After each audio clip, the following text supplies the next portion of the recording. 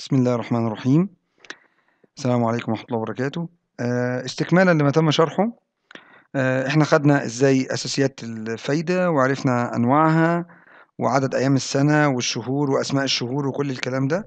وخلاص دلوقتي يعني نقدر بقى نشوف آه، ال- الفايدة والجملة بتحسبوا إزاي. النهاردة نبدأ أول حاجة ما هو قانون الجملة؟ يعني إيه جملة؟ أنا دلوقتي حطيت مبلغ في البنك وعايز أشوف بعد ما أجي أسحبه بعد سنة أو اتنين أو تلاتة هيبقى كام.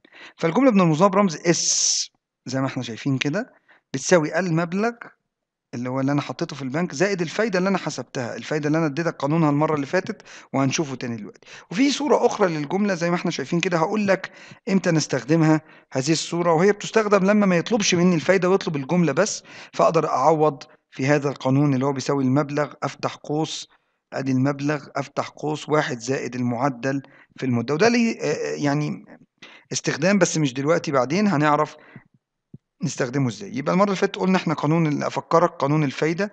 إزاي أحسب فايدة مبلغ الم- ال- المبلغ بتاعي في المعدل في المدة؟ وطبعا اتكلمنا عن المدة لازم تكون بالشهور. آسف لازم تكون بالسنوات. أما لو كانت بالشهور أو بالأيام عرفنا إزاي نقسمها ونعملها. طيب نشوف أول مثال عندنا المثال رقم واحد بيقول لي إيه؟ اقترض الشخص مبلغ 5000 يبقى المبلغ ده هو ال A؟ لازم أترجم بسرعة كده. من بنك الراجح بمعدل أدي ال I لمدة عامين أدي ال N أطمن الأول ال N دي بالسنين خلاص يبقى أنا كده مظبوط 100% مش هقدر أعمل فيها حاجة. تعال بص لما أجي أترجم.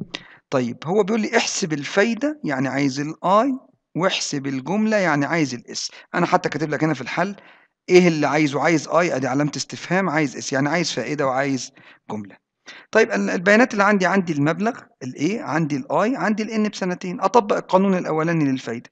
مبلغ في معدل في مدة. المبلغ ب 5000 ضرب 10% يعني 10 على 100 تديني الشكل ده في سنتين على طول. يبقى الفايدة مقدارها 1000 ريال يبقى دلوقتي يعني المفروض ال 5000 أنا حطيتهم فايدتهم 1000 ريال. لما أجي أسحبهم مش هيبقوا 5000 أحسب بقى الجملة. الجملة أشوف المبلغ اللي أنا حطيته زائد الفايدة اللي البنك حسبها لي. يبقى أدي المبلغ اللي أنا حطيته 5 زائد ال 1000 يديني 6000 ريال. مباشرة خالص. وممكن حتى ما تستخدمش الآلة الحاسبة. يبقى أنا بس بترجم من أرقام إلى حروف. واحفظ أنا عندي قانونين لغاية دلوقتي. القانون أهو والقانون ده. المبلغ في معدل في مدة يديني الفايدة المبلغ زائد الفايدة اللي حسبتها يديني الجملة.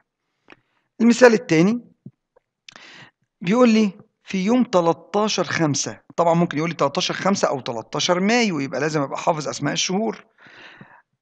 كويس. آه، في يوم 13 5 أودع أو أودع مبلغ 5000 ريال يبقى دي المبلغ. ولذا يحسب فايدة بسيطة بمعدل 15% أدي الآي.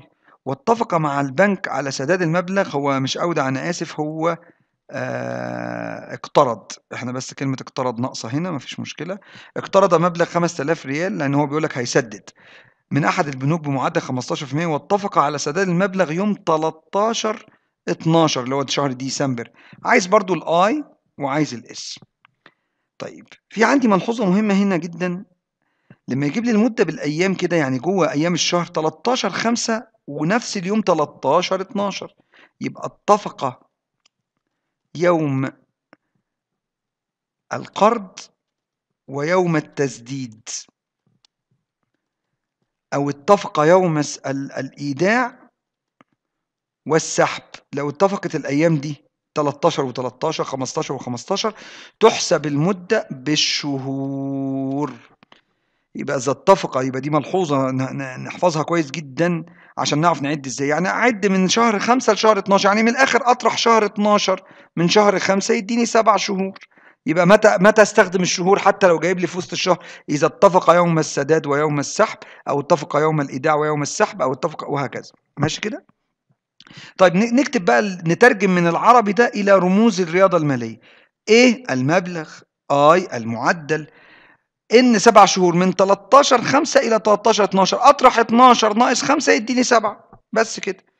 آجي هنا بقى أنا عايز الفايدة والجملة. أجيب الفايده مبلغ في معدل في مده أدي المبلغ 5000 في المعدل اللي هو 15% المدة بتاعتي بقت سبع شهور. ما ينفعش أكتب شهور. لازم أقسمها على إيه؟ على 12 ارجع للفيديو الأولاني وأنت هتعرف. هيدينا 437 ونص.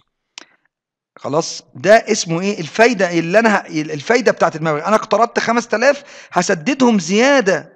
5000 زائد ال 4037 فالجملة هنا جملة المسدد هيسدد كام اللي أنا عايز أحسبها؟ أحسب المبلغ اللي هو ال 5000 أجمع عليه الفايدة يبقى دي المبلغ زائد الفايدة يديني 5437 ونص.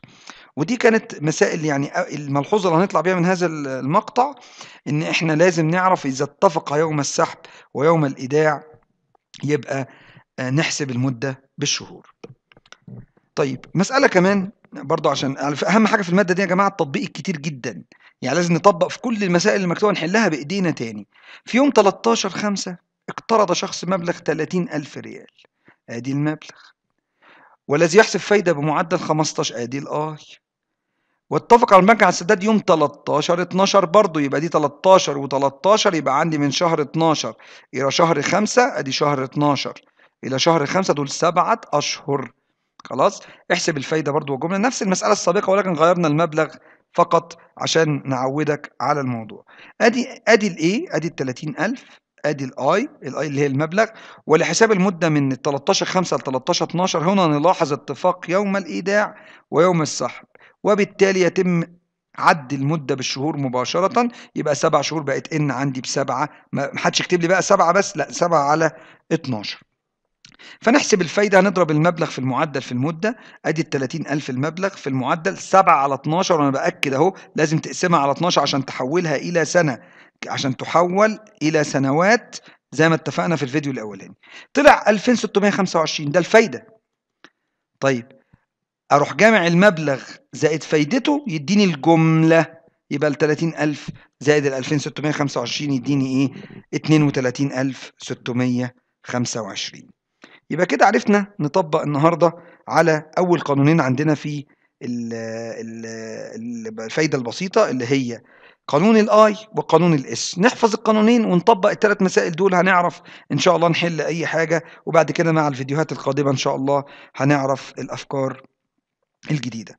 ونلتقي إن شاء الله الفيديو القادم. والسلام عليكم ورحمة الله.